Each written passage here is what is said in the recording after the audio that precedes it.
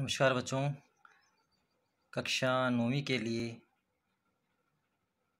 दो बैलों की कथा अध्याय में से अध्ययन सामग्री आपके लिए। दो बैलों की कथा मुंशी प्रेमचंद द्वारा लिखित एक कहानी है। इस कहानी को पढ़ने के बाद विद्यार्थियों में श्रवण और वाचन आदि कौशलों का विकास होगा। विद्यार्थियों में पशु पक्षियों के प्रति दया भावना का विकास और मानवीय गुणों का विकास करना इस कहानी के अपेक्षित अधिगम लक्ष्य होंगे। कहानी के मुख्य पात्रों पर नज़र डालते हैं। मुख्य पात्रों में झूरी, जो हीरा और मोती नामक दो बैलों का मालिक है। हीरा और मोती, ये झूरी के दो बैल हैं, जिन पर कहानी आधारित है। गया नामक एक पात्र है, जो झूरी का साला है और एक छोटी बच्ची है, जो गया की बेटी है और जिसको बैलों से सहानुभूति है। कहानी के बारे में थोड़ा जान लेते हैं। कहानी दो बैलों पर आधारित है, जिनके नाम हैं हीरा और मोती। इस कहानी के लेखक मुंशी प्रेमचंद हैं। कहानी में दोनों बैलों के आपसी प्रेम व अपने मालिक के प्रति उनके लगाव को दिखाया गया है। कहानी में बैलों के माध्यम से बहुत से नीति विषयक मूल्य भी उभर कर सामने आए हैं, जिनके बारे में हम आगे पढ़ेंगे। हीरा और मोती। हीरा और मोती का आपस में गहरा प्रेम था। दोनों एक दूसरे को सूंघ कर और चाट कर अपना प्रेम प्रकट करते थे। अगर एक नांद में से, नांद जिसमें वो चारा खाते थे, उस जगह को नांद कहा जाता है। अगर एक नांद में से मुँह हटा लेता तो दूसरा भी चरना छोड़ देता था। एक को मुसीबत में देखकर, दूसरा उसकी सहायता करता था। दोनों एक दूसरे का पूरा ख्याल रखते थे। इन बातों से पता चलता है कि हीरा और मोती दोनों में कितना प्रेम था। झूरी का बैलों के प्रति व्यवहार। झूरी अपने दोनों बैलों को बहुत प्यार करता था। वह दोनों के खाने और सुख सुविधाओं का पूरा ध्यान रखता था। वह उन्हें खाने को अच्छा चारा देता था और प्यार से उनकी पीठ सहलाता था।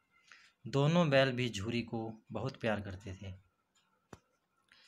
दूसरी तरफ़ जो गया था, उसका बैलों के प्रति कैसा व्यवहार था? कुछ समय के बाद झूरी अपने दोनों बैलों को गया के घर भेज देता है। तो वहाँ पर जो गया का व्यवहार है बैलों के प्रति, वो कैसा था? गया बैलों के साथ अच्छा व्यवहार नहीं करता था। वह उन्हें खाने को भूस सूखा भूसा देता था। हल में जोतने पर वह उन्हें डंडे से मारता था।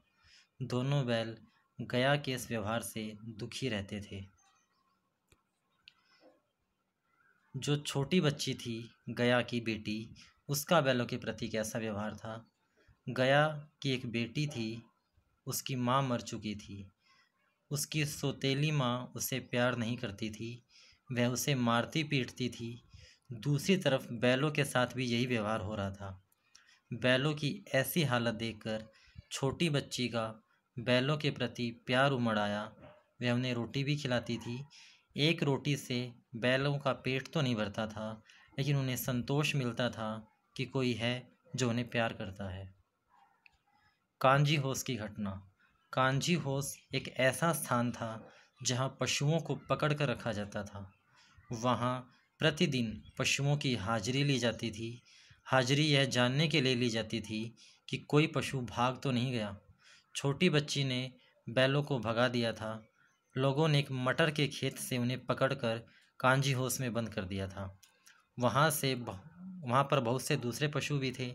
एक दिन हीरा और मोती ने वहाँ से भागने की सोची। हीरा ने अपने नुकीले सींगों से बाड़े की कच्ची दीवार गिरा दी। एक एक करके सभी पशु वहाँ से निकल गए। उस समय मोती खूंटे से बंधा था। उसने हीरा से कहा कि वह बाकी पशुओं के साथ वहाँ से निकल जाए। लेकिन हीरा अपने दोस्त को छोड़कर नहीं गया। मालिक आया और उसने हीरा पर काफ़ी डंडे बरसाए। इस प्रकार हीरा ने अपने दोस्त मोती के साथ अपनी सच्ची दोस्ती का परिचय दिया। इसमें कुछ मुहावरे भी आए हैं। उन मुहावरों के अर्थ लिखकर उनके वाक्य बनाने हैं।